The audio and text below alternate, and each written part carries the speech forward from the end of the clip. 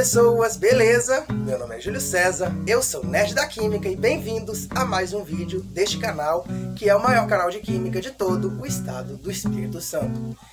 E hoje nós iremos falar sobre uma experiência que nós já fizemos anteriormente em um vídeo há cerca de oito meses atrás, que é um vídeo no qual é, eu faço um corante alimentar de cor azul usando os frutos de genipapo verde, o que é um vídeo que deu uma boa quantidade de visualizações para o canal, porque é uma coisa praticamente inédita que você faz um corante natural para alimentos de cor azul, que é extremamente raro, usando produtos completamente naturais e, e relativamente facilmente disponíveis aqui no Brasil. Então ali eu fiz um corante, é, um corante azul usando é, genipapos verdes que contém uma substância chamada genipina e o, o leite como fonte de proteína, de forma que a proteína reage com a genipina produzindo uma substância de cor azul. Então, hoje Além do uso de corante alimentar, que eu já fiz o teste, eu, até hoje tenho esse pigmento guardado, eu irei fazer um novo teste com esse pigmento azul. Nós vamos ver se ele consegue também tingir tecido, ou seja, se ele consegue tingir pano de algodão, de forma a você, por exemplo, querer tingir roupas usando um pigmento de tecido completamente natural. Então, neste vídeo nós vamos testar propriedades do corante azul do genipapo para ver se ele se aplica como corante têxtil natural, ou seja, se ele também serve para atingir tecidos. E além disso, nós vamos também testar algumas outras variantes desse corante azul de genipapo. No caso, eu vou testar, além do corante normal feito com leite, que eu tenho guardado há mais de 8 meses e ainda está funcionando perfeitamente como corante alimentar, também o corante que eu fiz naquela outra, naquele vídeo com ácido glutâmico, ou seja, usando o glutamato como, como fonte de aminoácidos, produzindo um pigmento a partir do glutamato.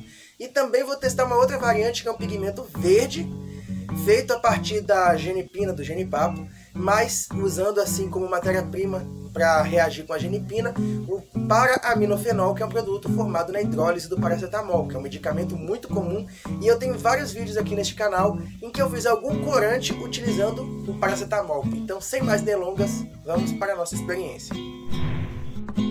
Para começar, nós iremos realizar essa experiência utilizando o corante natural de genipapo feito a partir da, do extrato de genipapo com leite. E nós então adicionamos um pouco de, de alumínio, que é o, hidró, é o sulfato de alumínio e potássio, essa mistura, e nós colocamos também um pedaço de pano de algodão para poder ser tingido. Então nós colocamos aqui o pano de algodão, depois adicionamos o alumínio para fazer ele se dissolver. O alumínio será um mordente, ou seja, uma substância que irá auxiliar o processo de aderência do pigmento ao tecido. Então nós sacudimos um pouco para misturar bem e logo em seguida nós vamos levar essa mistura ao aquecimento. Então nós levamos o nosso conteúdo aqui para aquecimento na lamparina álcool por, por cerca de 2 a 5 minutos de modo a levar o corante à ebulição, de modo que é, o calor faz com que as fibras de celulose do algodão se afastem, permitindo que as moléculas do corante possam entrar mais facilmente entre essas camadas de fibra de celulose, de modo a propiciar uma melhor aderência do que teria se fosse o corante aplicado a frio. Então nós aquecemos essa mistura de corante com alumínio e o tecido por algum tempo, cerca de 5 minutos. E após terminado esse aqui nós podemos observar que o aquecimento já começa a levar o corante à ebulição e após terminada essa ebulição nós deixamos essa mistura descansar por alguns minutos para em seguida nós coletarmos o nosso tecido que foi é, tingido. Então aí nós temos a solução, nós vamos colher aqui o tecido, eu estou usando um garfo normal porque eu estou usando apenas produtos naturais que não são tóxicos.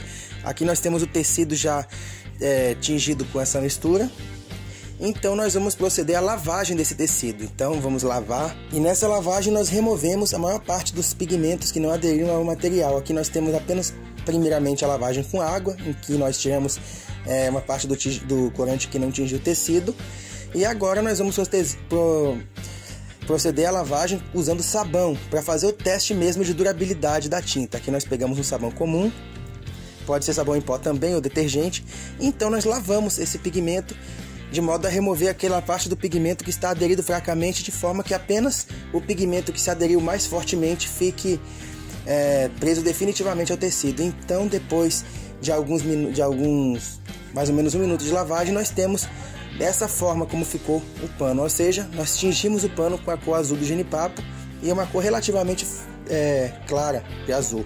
Agora nós vamos usar um pigmento que eu tinha preparado usando uh, extrato de genipapo com aminoácido ácido glutâmico, fazer um procedimento semelhante, ou seja, colocamos aqui o nosso pigmento, em seguida nós adicionamos o nosso pedaço de tecido de algodão branco, como vocês podem ver aqui. Colocamos ele para ficar em contato com a solução corante por algum tempo e depois nós adicionamos o nosso alumínio, que é o mordente, sulfato duplo de alumínio e potássio. Colocamos aqui um pouco de alumínio, agitamos bem a mistura para que haja uma melhor dissolução do alumínio e levamos ao aquecimento para fazer o teste de fixação da mesma forma que nós fizemos no corante anterior. Ou seja, o procedimento aqui é muito similar ao procedimento anterior. A única diferença é a natureza do corante, que é um pouco diferente, por ser obtido de um aminoácido puro em vez de ser obtido a partir de uma proteína como a do leite. Aqui nós aquecemos o material até a ebulição, colocamos em outro recipiente para esperar que esfrie, então nós colhemos, depois de resfriado, o nosso pedacinho de pano tingido com esse pigmento de genipina com ácido glutâmico.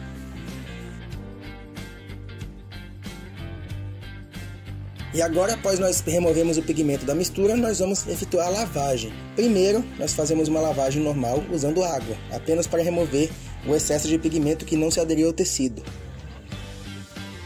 E agora, para testar definitivamente a fixação desse corante à fibra do algodão, nós vamos lavar com sabão para remover aquela parte dos corantes que não aderiu com força suficiente. E com isso nós podemos perceber que esse corante de glutamato ele não adere bem ao tecido nem mesmo com mordente, ou seja, após algumas lavagens a cor sai. Então agora nós vamos fazer um corante novo, inédito até então, que nós usamos então o material obtido da hidrólise do, do é, paracetamol, que é um medicamento, uma substância chamada para-aminofenol, e o extrato aquoso de genipina, que consiste em um genipapo verde fervido em água. Nós colocamos aqui o produto do, do para-aminofenol, que é uma amina primária aromática, e nós colocamos misturado com extrato de genipina, então nós vamos levar a ebulição para produzir um novo corante, um novo pigmento formado pelo extrato de genipapo, dessa vez utilizando uma amina aromática em vez de uma amina comum como um aminoácido, uma amina primária normal. Aqui nós podemos aquecer por algum tempo até a reação começar a acontecer, a condensação entre o paraminofenol e a genipina, seguida pela oxidação para produzir um pigmento de cor verde. Porém, nesse momento eu esqueci uma coisa muito importante. Nós devemos neutralizar parte da acidez, porque essa solução de paraminofenol está muito ácida, por causa do ácido clorídrico usado na hidrólise. Então, eu vou neutralizar parte da acidez utilizando bicarbonato de sódio.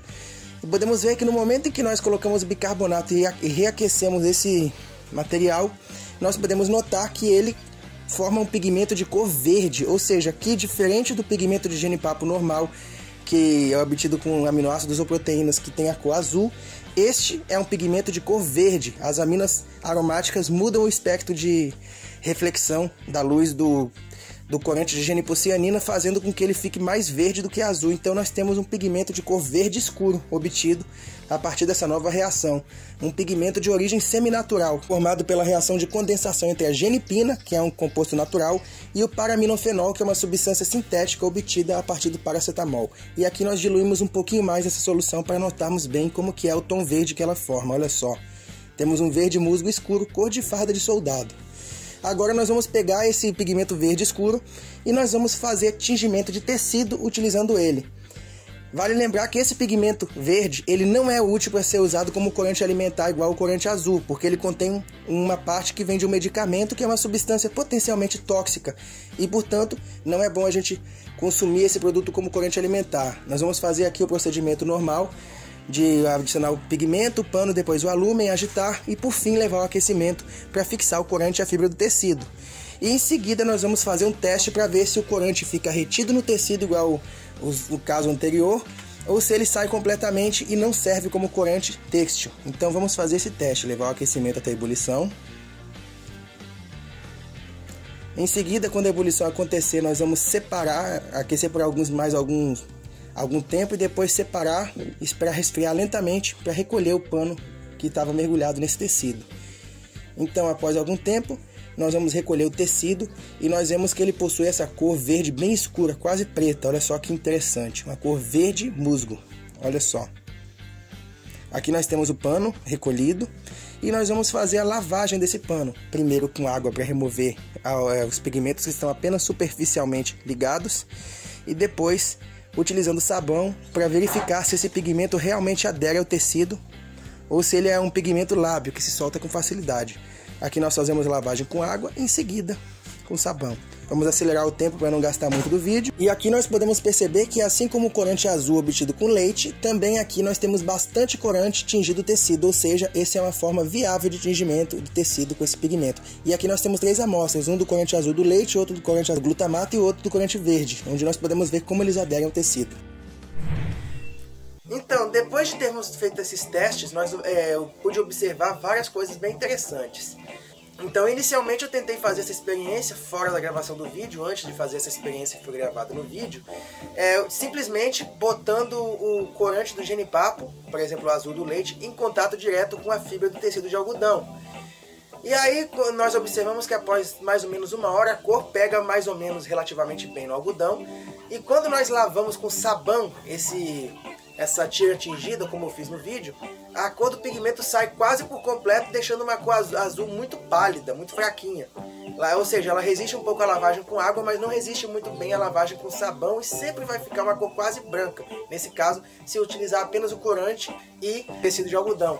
Também fiz outra experiência aquecendo o corante até próxima ebulição, mergulhado no algodão por alguns minutos para poder fixar o corante para aquecimento, já que o calor faz com que as fibras de celulose do algodão se afastem um pouquinho, de modo que o corante possa grudar melhor no espaço entre elas. E também ao fazer o teste, é, foi verificado que a cor quase some e ficou azul muito pálido também, ou seja, aplicar diretamente o corante do genipapo ao tecido não funciona muito bem.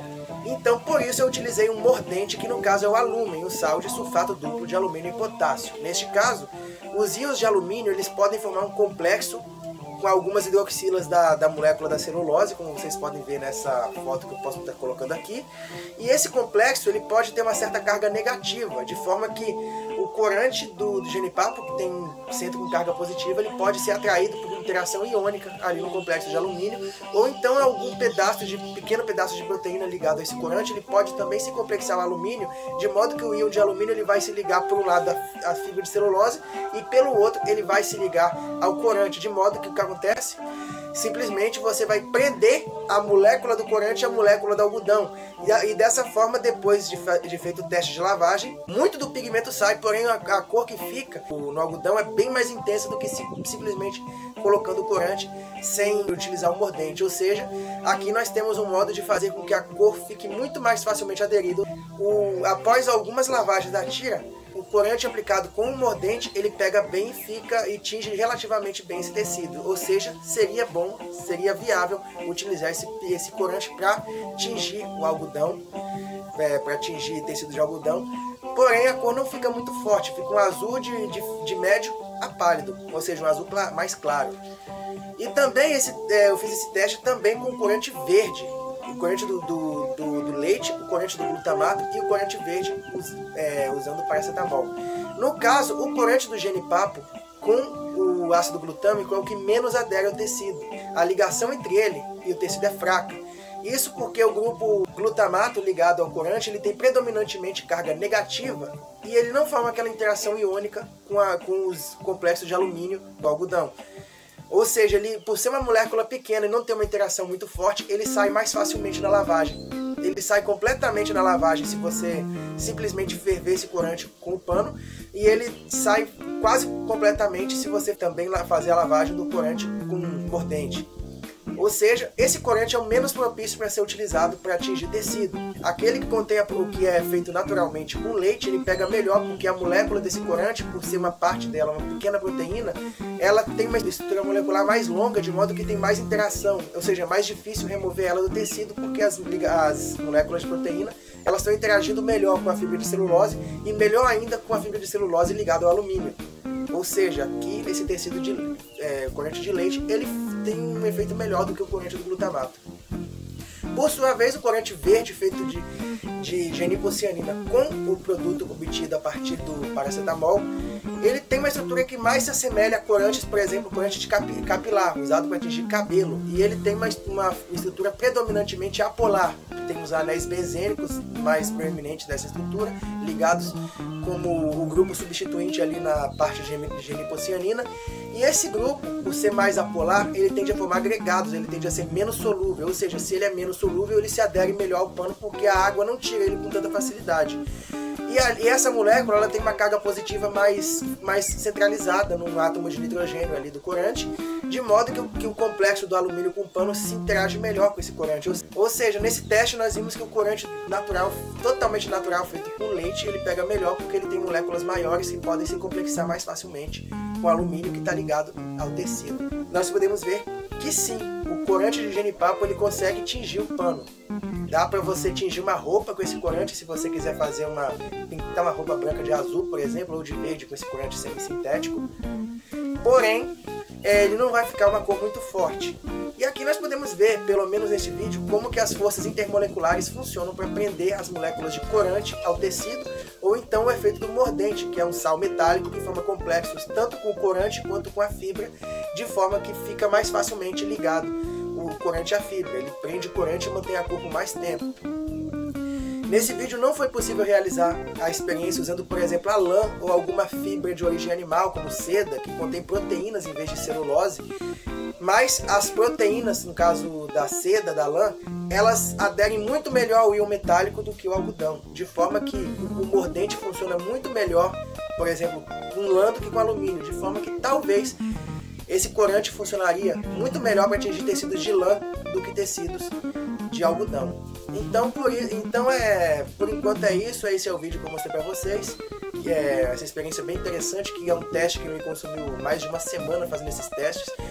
Eu peço para vocês que se inscrevam neste canal, que acessem o site da, do, do, canal, que se chama Nerd da Química, também a página, que também se chama Nerd da Química. Eu agradeço a vocês que estão assistindo esses vídeos e me dando força. Muito obrigado por tudo e valeu!